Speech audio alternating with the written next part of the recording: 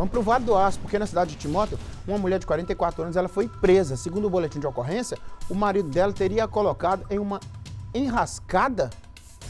É isso mesmo? Que enrascada é essa? E ela acabou detida. Vamos ver que, que rasca, que confusão é essa aí, Gisele? Termine de contar essa história para mim aí.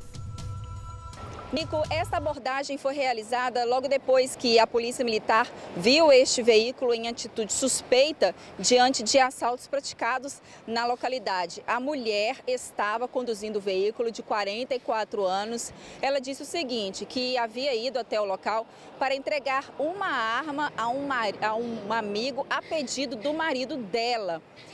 Dentro desta bolsa tinha uma espingarda calibre 12 que estava municiada. Os policiais então tentaram localizar o carro em que a pessoa iria buscar a arma, mas nem este carro onde seria feita esta entrega e também nem este destinatário foram localizados pela polícia. A mulher recebeu a voz de prisão por posse ilegal de arma de fogo e foi conduzida à delegacia de polícia civil. Como não havia nada de, de errado, né, nada de ilícito com o automóvel, ele ficou no local da abordagem. Nico.